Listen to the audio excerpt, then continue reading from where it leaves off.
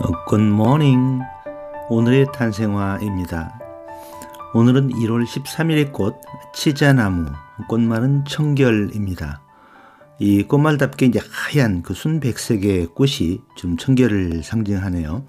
이 코를 계속 대고 이 맡고 싶을 정도는 이제 향기가 아주 진한 어, 식물입니다. 이제 보시는 열매를 염료로 어, 염색을 살 수 있는 재료로도 상당히 중요한 고급 소재이죠.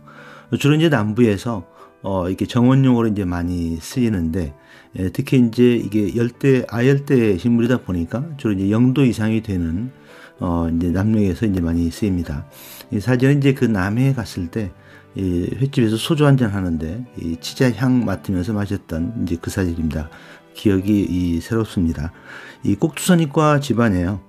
중국 이제 대만이나 일본이 고향인데 이제 우리나라 땅에 기화해서 우리 자생식물처럼 어, 자라죠.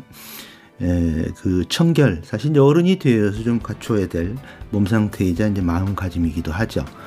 이 치자나무의 이 꽃향기 같은 하루 되시기 바랍니다.